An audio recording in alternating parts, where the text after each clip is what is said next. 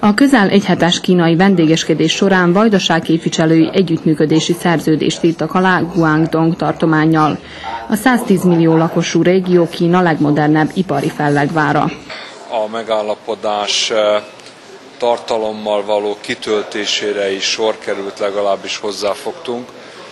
Három olyan városban volt alkalmunk eh, városvezetőkkel, cégvezetőkkel találkozni, amelyek eh, érdekeltek eh, az együttműködésben, vagy azért, mert már az elmúlt években az energetikai parban, vagy pedig a számítástechnikában jelen vannak Szerbiában, vagy azért, mert a jelenlétük még nem kitapintható a szándékaik igen, illetve hát erősíteni szeretnék a jelenlétüket. A tartományi kormányfő Szent kijelentette, hogy Újvidéken hamarosan befejezik a tudományos technológiai parkot, amely lehetővé teszi a kínai cégeknek is azt, hogy fejlesztési központot alapítsanak Vajdaságban.